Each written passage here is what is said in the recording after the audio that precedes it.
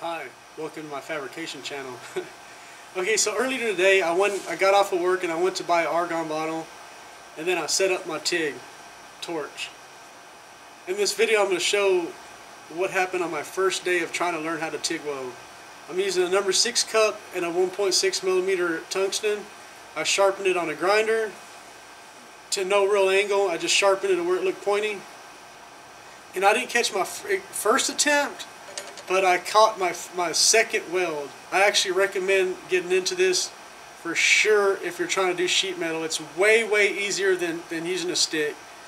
Today I welded one millimeter thick steel and I didn't even clean it that good. I just hit it with the grinder, no acetone because I didn't feel like going to the store.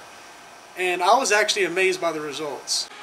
In this video I'm using the same machine. It's a Everlast 160 uh, STH and I have I'm running 100% argon. Okay, so for a while I, I was trying to learn how to stick weld thin stuff with uh, stick weld thin stuff and I never really could do it successfully. I have another video where I, where I failed pretty bad. And that's always been a problem for me because you always have to weld up exhaust and body panels and stuff like that. And this right here, this section right here, I know, I know, uh, this section right here, from here to here, that is the first attempt to weld anything with the TIG. And I did a fusion weld with no filler and I was amazed by the results. So amazed I had to make a I had to make this video on it. Just look at it. And then you can look at the back side. I know it might not be perfect, but it, it, it almost seemed like it wanted to dig into the back. That was my first shot, and I was just amazed by it. I've never I've never been able to weld sheet metal that that good with a stick. Not even close. Here goes another weld that I made. That this was like one one shot from about here to here. Then I restarted went from here to here and I tried to keep going and I messed it up. And I actually messed it up on this on this part too. I, I restarted it and I, you know something went crazy. So I'm not I haven't perfected it yet but just keep in mind that I seriously put down a bead that is well over an inch long restarted and it started out good I have a problem with restarts with the stick, so to me this is this is crazy. Okay, for this first weld I didn't catch it on camera, but then I try to replicate it and I mess it up. I'll show that, and then I'll get into me welding this. 65 amps.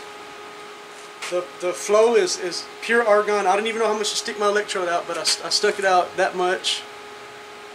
And I'm just going to lay the cup on it I have a high frequency start so it'll jump the spark by itself and I'm just going to go like that along the seam.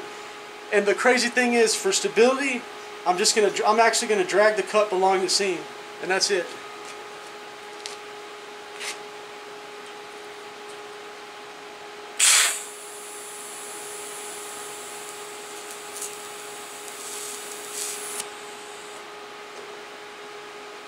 Wow, it didn't work like it did a few minutes ago. Okay, here's take two, exact same setup.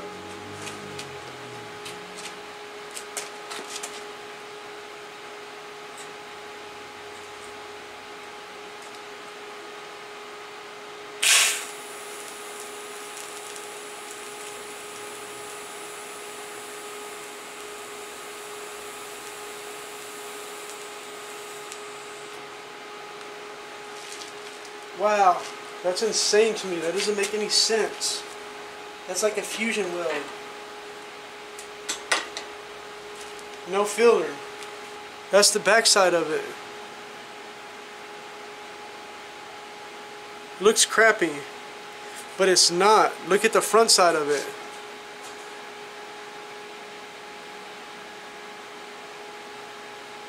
Like,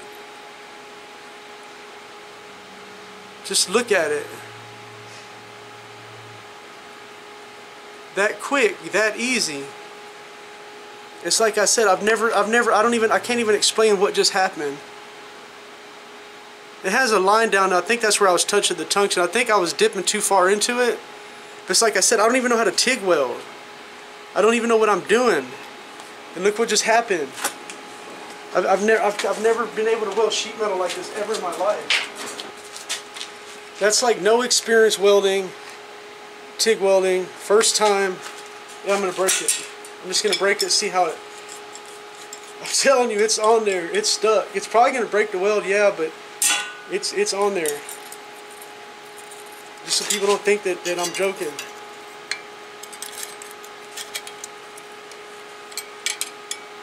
I just folded it. I just fold.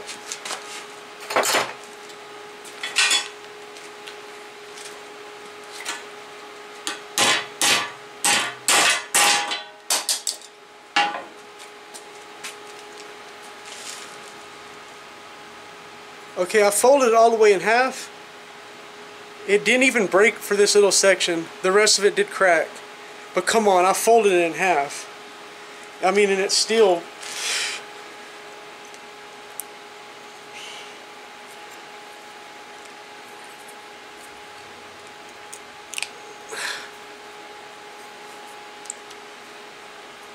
I did fold it in half though. You see what I'm saying? And part of that, you can see right there where it was actually yeah it one thing about fusion welding they say that whenever you you fuse it with no fillers you actually create a smaller a thinner portion. So it's gonna break the weld because you don't have a filler there. Anyway let's do this again. This is, this is ridiculous.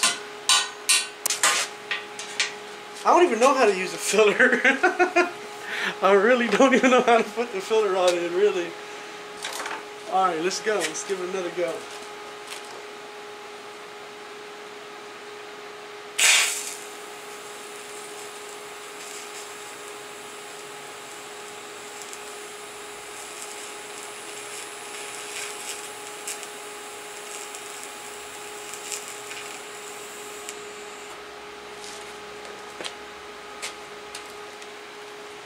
That's crazy. I can't even believe what I'm seeing.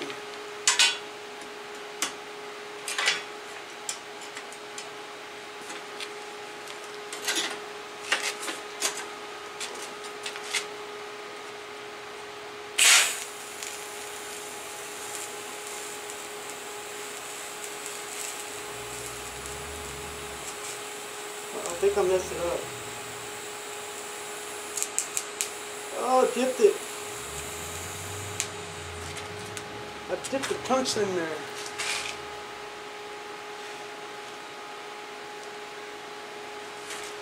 Okay, I got a little too excited. To be honest, got a little bit too excited. That's the back side of it. It's still like, like right there, it almost just turned into one piece. Like, look at it, it's just, it's nice. See, then I restarted about right there, which it restarts fine. And then right around here, I don't know, I just started losing track of what I was doing. Maybe because it, it has ripples in it. And then I dip the tungsten about right there. But still, look, that's a pretty good stretch. That's, I mean, I could, if I would just stick to maybe like an inch at, uh, maybe two inches at a time. And look, wow, look at that. On this side, it almost looks like it has a bead on it.